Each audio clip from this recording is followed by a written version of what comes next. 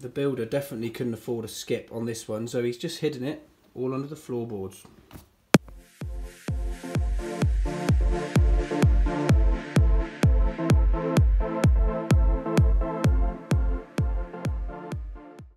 Morning guys! For me, my imaginary watch, there it is. It's actually about four o'clock I think. I've been doing this little project for two days now, this is day two. I didn't film any of the building stuff uh, because my channel's more, you know, geared up for the electrical now. So um, I'll have a walk around now with you and then we'll probably skip to tomorrow where we're going to crack on with electrical but we can do a little walk around now um, just have a look. So if you remember this is the house where a few videos back I mentioned they wanted um, we were splitting so I've, I've created this doorway we were splitting this main bathroom which is there into two so this is the master with an ensuite now and this will be the family bathroom um, and they wanted two mains powered showers 10.8 kilowatt or 10 kilowatt.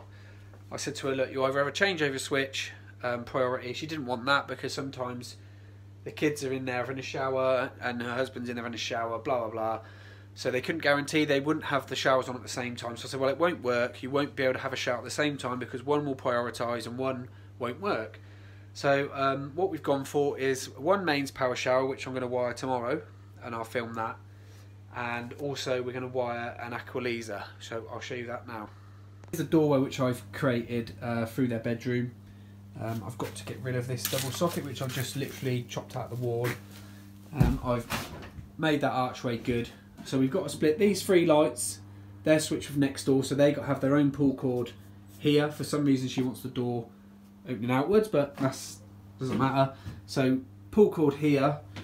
Mains power shower is going to go on here um, in a shower cubicle. There's going to have a corner cubicle with a little toilet and a basin. Uh, and also got to install a extractor fan, um, an extractor fan in here. Into this room, which was linked via this weird little sort of Spanish archway. So all the lights are switched on by here. Horrible box. It's also had some add-ons the fan and whatnot, but at least it's got a, an isolation. I'm swapping that fan for a new one. Um, obviously, going to get rid of this horrible. I think this was like a horrible heater on the wall there. Um, that's the old mixer. Um, bath is going to go along here. So we're going to put a, a new shower on here. I think it's going to go there and the head's going to go there. So Aqualisa is going to go there. And a pretty good thing is, on the back of that is an airing cupboard. So all I've got to wire to that, it only requires a 3 amp fuse. So you can come off a ring main. Um, I've known people even to mount the transformer in the loft and wire it off the lighting with its own fuse spur fuse down to 3 amps which is adequate you know it's it doesn't need a lot of power. It's only a small pump and it uses a hot and cold feed. Um, yeah. So yeah. And here are the fans and the other bits and bobs so we've gone for Vent-Axia two of those there's the Mira shower electric. I think, yeah, it's 10.8 kilowatts at 240 and 9.9 at 230. So, yeah, 10 mil for that. And this is the Aqualisa. Pretty expensive, but these are good showers. Um, very good showers. So we'll get into that tomorrow. We'll get into this. There's the airing cupboard for tomorrow. And I'll just quickly show you the fuse board downstairs. Got some trunking for my cable that's going in the cupboard. And here is the fuser board. Cupboard doesn't open because it hits the tiles. Um, George Foreman's in there. So we have got some labels, some domestic install, I can't see at the minute. Circuit 6, not sure what he's done. But I've not even priced this, this is extras, so I'm probably going to mount I don't know yet. If I can get RCBOs for that, if it's got an RCD, um, I'm going to do something in here. But we'll get into that tomorrow. But I just thought I'd show you the cupboard. So I will see you tomorrow, bright and breezy. Don't be late. Morning. We're back. I'm fresh. Well, not that fresh. I've been up all night, but hey ho. That's a different story. So I think first thing what I'm going to do is tackle uh, these lights in this bathroom here. Uh, these need to be switched separately. We're going to put a pull cord inside here Um, the client wants a quiet pull cord. Contactum do one. Um, I've used them before. They're pretty quiet. They also do a dimmer. It's called a dimmer pull cord. I don't think it's actually a. Um, let's put this right. A mechanical switch. It's like a an electronic switch, so it's silent. Twenty-five pound to thirty pound, depending where you go. So, split these lights off of here. Get the fan in, and then we'll have a look in the loft. There is another bedroom, but there is a little bit of a loft. But we'll have a look in a minute. First things first, though. The client did say, "Help yourself to a cup of tea." As the kettle's boiling, I thought I'd come up here. In 2012, somebody did some work here, NIC. Circuit 6. So he's put a Hager breaker in MK, which is fine because you probably can't get these breakers, but obviously we know we're not allowed to mix and match. Um, can't pull this, obviously we don't. This is sealed, this one, so I'd never ever cut them. And I'm being serious now, I'd never cut them. If these are cut, um, fine. The only way I can see you doing it, can't not allowed to cut that now because he sealed that. So how are you ever going to come in? Obviously you have to get the, these guys to come in and put you an isolation switch on these tails. I know a lot of guys take these out live, but that's not for me. Might even find on this one there is an isolation switch. Sometimes if you take that out, there's a little turn key in here. You can turn it and it will isolate these tails. Obviously once that's isolated, these guys will know because this is a smart meter, but who cares? So I've got to try and get something to fit in here because I'm working on the lighting and I'm going to be installing the shower circuit. So hopefully we can get a new busbar, move the 5 amp over and get a, a new breaker for the shower in this one. If not, I'm going to have to fit another enclosure here and try and split these tails without them finding out. Right, I've just popped these existing downlights out of the ceiling and uh, these are JCC. Um, that one's actually got three. That one's got three. For some reason, oh no, that one has got three. Sorry, my mistake. Anyway, I thought I'd just check how he's wired it. He's just come to this one, and then he's used a really old, weird, crappy connector off an old light. Come through with two cores. Um, okay, I'll sort that out as I'm working on this I will redo this uh, that one's okay so obviously we can tell that there is a joint box above here somewhere so got to try and find that to disconnect these three lights off of those four lights. Right so I'm now in the weird little loft conversion. Bit this has got a separate loft above where I'm working. Um, as you can see there's the extractor fan. What I've got to do is tee into that put two non-return valves and put an extra put another extractor fan onto that one. Um, and there's a junction box there. So I'm to have to get in here at some point to mess about with these lights. So yeah, interesting. But yeah, it's very scruffy. Um, whoever's done it, look, it's, not not to the current standards, I would say. Right, so I've since discovered that this little extension on the back here it's got a flat ceiling. A flat roof, I should say. So, there's no way in how we're going to be able to put a fan in there. So I'm going to ring the client up now and tell her it's going to come through here, through the wall, high level, showers going here, so perfectly adequate. So I'm just above the fuse board, the floor above, lifted this board. It always inspires you when you're sort of faced with this sort of stuff. Just ends. Ratty ends, where do they go? Nobody knows. I reckon this has been rewired at some point. Um, and just somebody's left loads of old cables up here which which is fine they're dead but it's nice to strip them out isn't it? But so I've got to get in here 10 mil come through here make this my main run through here and then into the uh, the airing cupboard in there where I'm going to mount the switch. Some people might ask why are you mounting the switch for the shower in the airing cupboard? Um, one thing they don't want any um, switches on show in the corridors. I know I know it's fine to do it, but they don't want to see it. Um, another thing is, what I'll do is I'll, on the label on the fuse board, when I put a new circuit chart, I'll label it up. I'll actually put locations of switches, but I've got to put a switch in for the Aqualisa shower. That's going to go in the airing cupboard as well. And also for the for the 10.8 kilowatt shower, uh, 50 amp um, MK double pole switch. That's going to go in there as well, and that'll all be labelled up what it does. Um, remember, these switches are just for maintenance only the builder definitely couldn't afford a skip on this one, so he's just hidden it all under the floorboards. So I'm just getting my main running for my shower cable. I've had to take up the whole bloody carpet just to get into the bathroom so we can get into the cupboard and to the shower. Um, if you if you haven't got any of these little rods, get some of these. These are a lifesaver. I've had to take this up because there was a herringbone. If you do, if you don't know what herringbone is, it's two bits of wood uh, in a cross. So what I've done is wire through the top of the herringbones um, because you you can't get all this up to clip this. If you say you're clipping this, you're not. You're lying. So you put this in the fabric of the building, um, and this premature collapse ring just doesn't come into it because I'm above the timbers, the herringbone timbers. Um, if if that's burning and falling, then the house is coming down. No one's rescuing, nobody in here. No firemen are getting entangled in any of this. So you're just wire in the fabric of the building. This is fabric of the building through here. No cables can hang and drop if these ceilings fall anyway. So cables now, um, I'm going to tie it on here, pull it through, drill these down here, um, get, the, get the cable back to the board first. Just so you know I'm not lying, let's have a look where the cable's going. Through existing holes, through the timbers, so it's uh, within the fabric of the building. Right, holes are now drilled. I've gone either side. So they're staggered.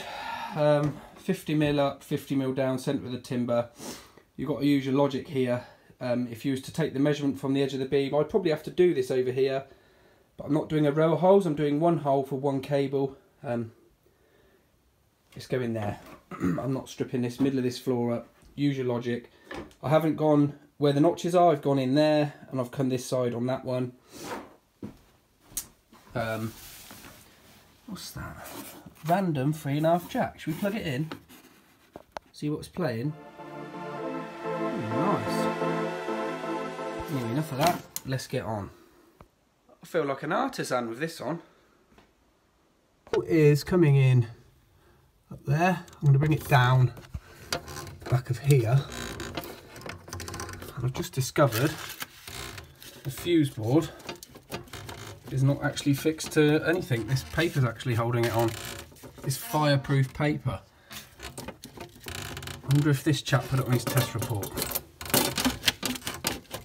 Okay, I'll have to sort that out.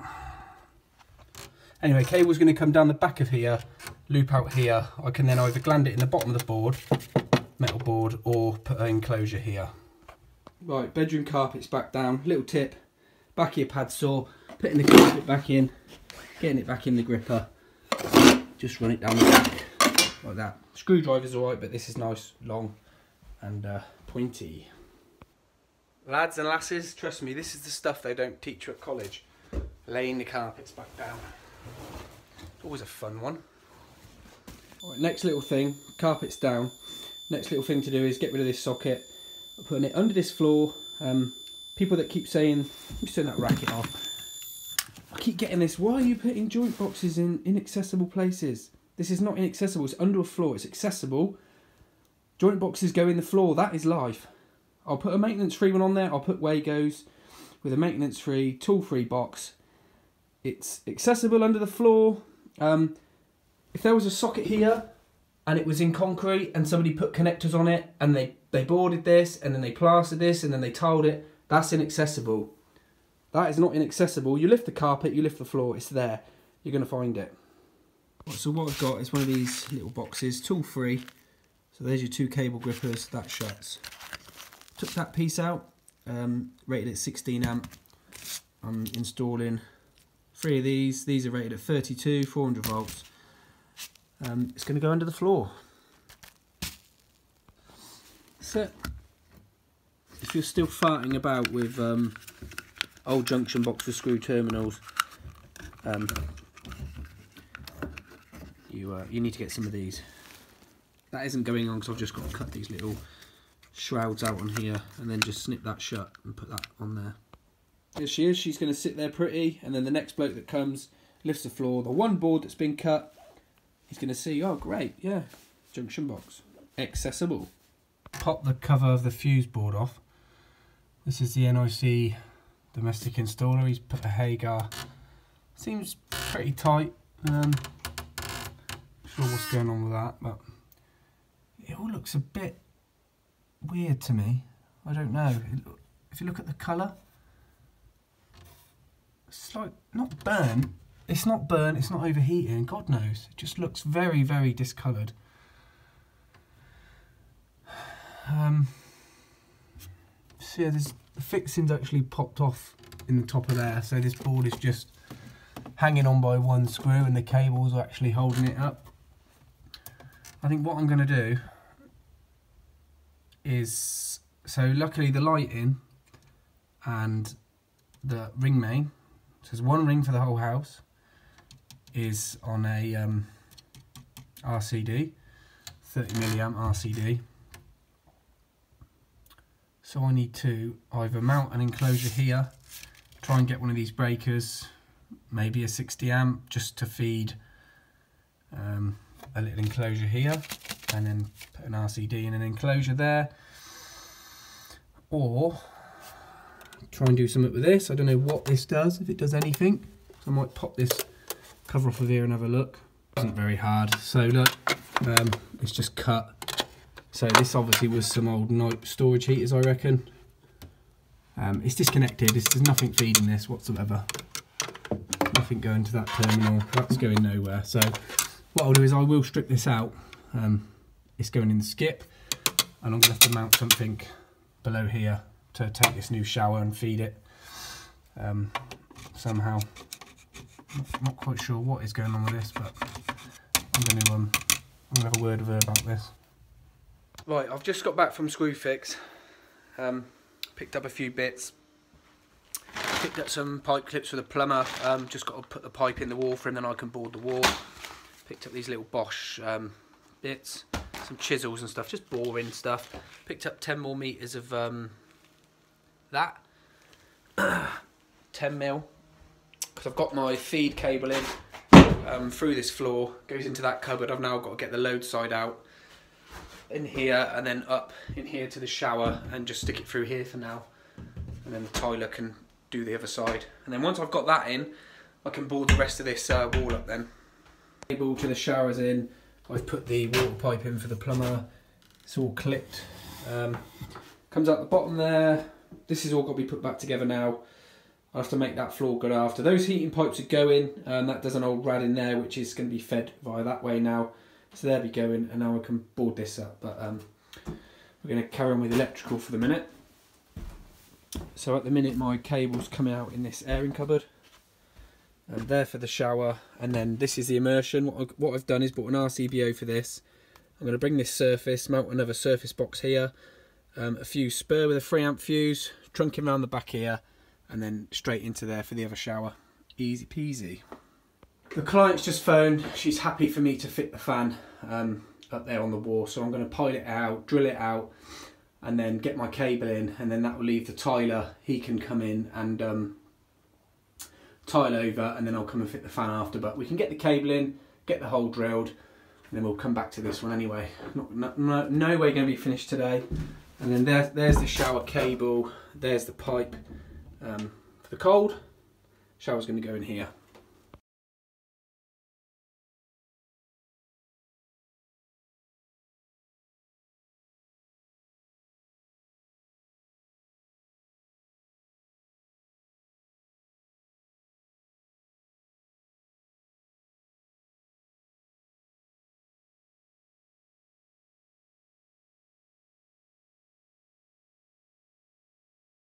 what I'll get is a wall kit for this, uh, solid duck through the walls. I always put solid through the walls. Um, I'll bring him out, tiles have got to go on and I'll just make this good. I'll bring my free core down, leave it out here with this. tiler can finish then. I've then just got to cut a fan isolator in there, which I can get to is in the loft. And I'm hoping these lights are RCD'd, because I'll just get rid of that and then I can fish through here into this flat ceiling and just rewire these lights as well. I'm just coming into this loft to sort out this pig's ear of a job in this little crappy loft. Um, obviously because they've had an extension done, um, they've had some new cables put through and whatnot. Um, I'll just show you what I found. This is no BS, this is what I found. Through, he's done a good job, he's done all the lighting. I found this, so all the earths have been disconnected from the original junction box it's all on an RCD. he's put he's moved the six amp onto the RCD side, but then all the earths are cut out, and these JCC ones are metal, so they need an earth. Um, it's just crap. So there's a couple of cables that dive into there, which is down to my new extension. I'm gonna have to pull one out, make one a feed, um, and then get that to my new pull cord switch, and then just sort this pig's ear out. So what I'm gonna do is disconnect this, um, make sure I know where they all go, and then connect all the earths, and then I'm gonna have to tell her I've got to drop all the fittings and just remake all the fittings off because it's a bit scruffy. Stripped out quite a bit of this now. Um, stripped out one junction box, remade this cable off which goes to these downlights in this one bathroom. I'll have to drop these now and redo all the earths. Um, I've put my, my cable in that goes into my extension which is going to be my feed. That, I've put that on my new box here because I don't really want to get involved with that too much. It's safe but it's not great. I might say to her, look, this needs a bigger box on it. And this basically is doing my live and neutral and earth into my extension, which I can take to my um, pull cord switch now. That's where I just was laid up above these downlights. These are now switched on here. I've just got to switch that fan over for a new one, which is a vent Axia there. these lights have now got no switch, and that white that I connected in is there, which will just get jointed above this downlighter and then extended to my pull cord and then I'll just wire between the three lights and then this is my new free core that I've managed to fish across to here. I've now got to get this to the um, fan isolator and then a free call from the pull cord to the fan isolator itself. Unfortunately, it can't be helped. I've got 400 centre timbers with nothing, no space in there, nothing. So I've had to take out loads of these. Um, three of these are spotlights and I'll just have to fill these back in. But um, I'll put the plugs back in and I'll just give them a quick skim over. But I do it on loads of jobs, they never crack. Right, so the, rather than wiring um, a one mil, two core and earth and a three core, uh, uh, another two core, sorry, back from the switch, what I've done is I've put a three core in. That'll give my um, permanent live and neutral will come through here to here and then that will pick up my that that's my fan. So that will give my neutral switch line and earth and um, permanent feed to the fan which goes up to the fan isolator which is now there. That then goes to the fan uh, overrun timer and um, comes on when you turn the lights on. So then this brown will become my what I'll do is I'll put a box on there for a downlighter and then the black will be my permanent feed. So that won't be used here only the brown which will be my switch. And then I'll what I'll do is I'll link some um, one mil out of here and then that will go to the last downlight and that will go straight into the downlight um, into this box so rather than wiring two cables I wired one cable and I just the, the black which will be my permanent feed or whoever, however how you do it as long as you flag it up it doesn't matter. Right this is where I'm at. All my holes are now filled. All the plugs are back in um, my little battens put across. Fan isolator is now done. Above my head. And then um, he's now taking these JCC ones out um, of here and out of here and we're going to put four Lucecos in here um, four in the ensuite and then these ones are going to go in the kitchen just replace the um, the halogen ones that are in there at the minute so it's now four o'clock. I've got to go home, have a shower, and then go and look at two jobs. Um, I think they're kitchen refurb, so they're going to want um, extra fuse boards putting in, etc. And tomorrow, which will be Thursday, I start another job. Um, it's another fuse board change, so I think I'm going to go for an Eaton on that. Um, um, as you can see, I'm not going to finish this job in this video, so I will be back here next week. So if you want to see sort of part two, where we'll do the showers, um, etc. Obviously, I'm not going to finish because I'm waiting on the tiler. I'm not doing the tiling on this one because it's just too much and I'm just too busy. So, um, so when he's done that, this job will be finished. But I will do a part two when I come back and do lights and etc. So, thanks for joining me, guys. Um, I'll see you on the next one. Take care.